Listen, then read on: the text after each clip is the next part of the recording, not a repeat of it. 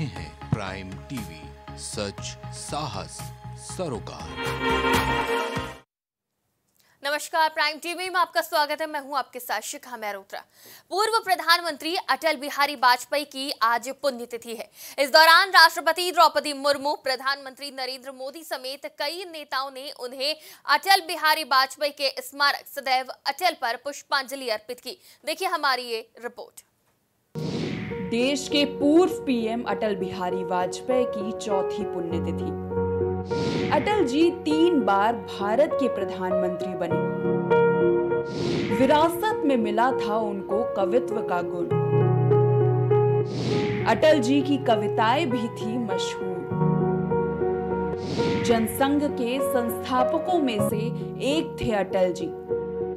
कई नेताओं के साथ मिलकर उन्होंने लड़ी थी आज़ादी की लड़ाई। 16 अगस्त 2018 को हुआ था अटल जी का निधन। हार नहीं मानूँगा, रार नहीं ठानूँगा।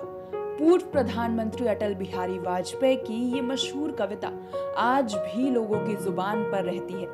बीजेपी के फाउंडर मेंबर के साथ अटल बिहारी वाजपेयी एक शानदार कवि भी थे और उनकी कई कविताएँ मशहूर वो हमेशा अपने भाषणों में अपनी कविताएँ सुनाया करते थे। जी हाँ आज पूर्व प्रधानमंत्री अटल बिहारी वाजपेयी की चौथी पुण्यतिथि है। उनकी पुण्यतिथि पर राष्ट्रपति द्रौपदी मुर्मू, पीएम मोदी सहित तमाम नेताओं ने श्रद्धांजलि अर्पित की और 25 दिसंबर 1924 को मध्य प्रदेश के ग्वालियर में जन्मे वाजपेयी आज के ही दिन साल 2018 में हमें छोड़कर चले गए। पूरा देश भारत रत्न अटल बिहारी वाजपेयी की पुण्यतिथि पर उन्हें याद कर रहा है। अटल जी की ऐसी शख्सियत थी, जिनसे अपने तो प्यार करते ही थे, उनके विरोधी भी उनके मुरीद हैं। उन्हें राजनीति की अजात शत्रु कहा जाता था। अटल जी ऐसे नेता थे जिन्हें अपनी हार का भी कभी दुख नहीं हुआ। वो अपनी हार पर भी हंसने लगे थे। जानिए, पूर्व प्रधानमंत्री अटल बिहारी वाजपेयी से जुड़ा ये अनोखा किस्सा। अटल बिहारी वाजपेयी भारत के पूर्व प्रधानमंत्री थे। वो तीन बार देश के प्रधानमंत्री बने। वो हिंदी कवि, पत्रकार और कुशल वक्ता भी थे। वाजपेयी एक ऐसे नेता थे जिन्हें हर राजनीतिक दल मानता था। अटल बिहारी वाजपेयी का जन्म मध्य प्रदेश के ग्वालियर में हुआ था। उनके पिता ग्वालियर में शिक्षक थे। शिंदे की छावनी में 25 दिसंबर 1924 को वाजपेयी जन्मे थे। उनके पिता का नाम कृष्ण बिहारी वाजपेयी था, जो कि उत्तर प्रदेश के आगरा ज़िले के मूल निवासी थे।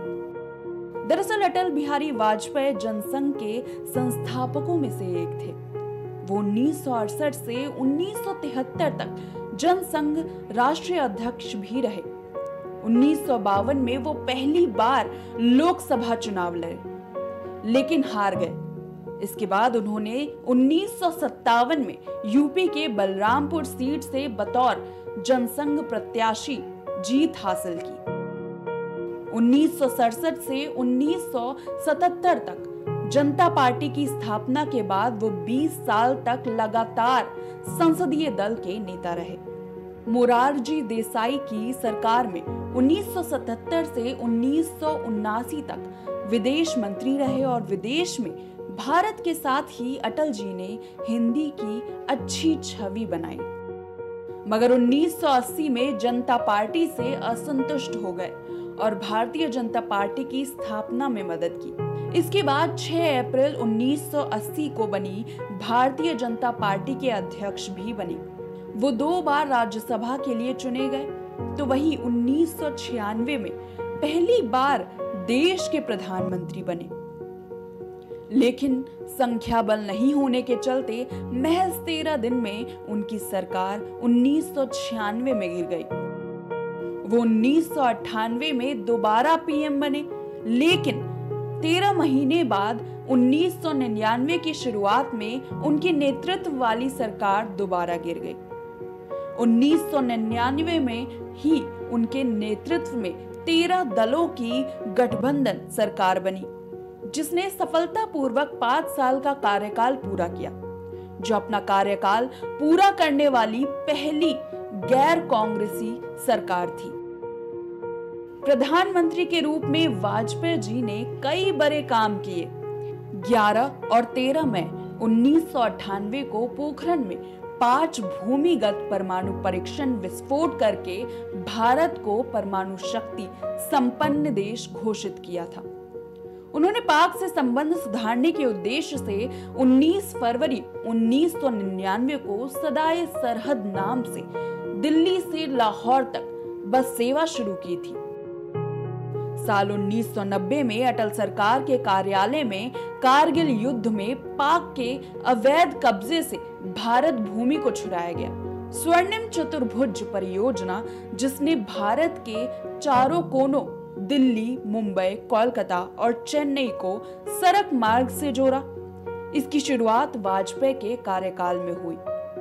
ब्रिटिश शासन का विरोध करने के चलते वाजपेयी को किशोरावस्था में कुछ समय के लिए जेल भेजा गया। राष्ट्रीय स्वयंसेवक संघ और जनसंघ से जुड़ने से पहले वाजपेयी कुछ समय तक साम्यवाद के संपर्क में भी आए।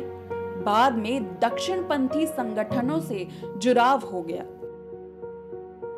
अगर हम वाजपेयी जी को मिले पुरस्कारों की बात करें तो उन्नीस सौ बानवे में पद्म विभूषण और उन्नीस सौ तिरानवे में कानपुर विश्वविद्यालय से डीलिट की उपाधि मिली थी। उन्नीस सौ चौरानवे में वाजपेयी को लोकमान्य तिलक पुरस्कार तो उन्नीस में श्रेष्ठ सांसद पुरस्कार और भारत रत्न पंडित गोविंद वल्लभ पंत पुरस्कार से नवाजा गया।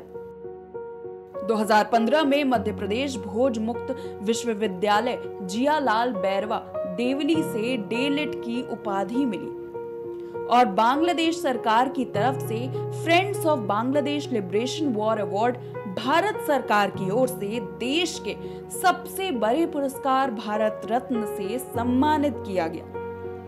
अटल बिहारी वाजपेयी को साल 2009 में एक दौरा पड़ा था। इसके बाद वो बोलने में काफ़ी हद तक अक्षम हो गए थे। 11 जून 2018 में किडनी में संक्रमण और कुछ अन्य स्वास्थ्य समस्याओं की वजह से उन्हें अखिल भारतीय आयुर्विज्ञान संस्थान एम्स में भर्ती कराया गया था, जहाँ 16 अगस्त 2018 को उनकी मृत्यु हो गई। पूरा देश उनको आज उनकी पुण्यतिथि पर उनको नमन कर रहा है। Bureau report, prime TV. आज पूर्व प्रधानमंत्री अटल बिहारी वाजपेयी की पुण्यतिथि है और इस अवसर पर सभी उनके जो कवियाँ थी, उन्हें याद किया जा रहा है, उनके योगदान को याद किया जा रहा है। उन्होंने किस तरह से अपना जीवन देश के लिए समर्पित कर दिया? एक सफल राजनेता के रूप में जो उनकी छवि रही आज सभी उसे याद कर रहे हैं और उन्हें श्रद्धांजलि दे रहे हैं। फ़िलहाल हमारी इस खास रिपोर्ट में इतना ही। देश दुनिया की तमाम खबरों के लिए देखते रहिए प्राइम टीवी। कुछ पुष्प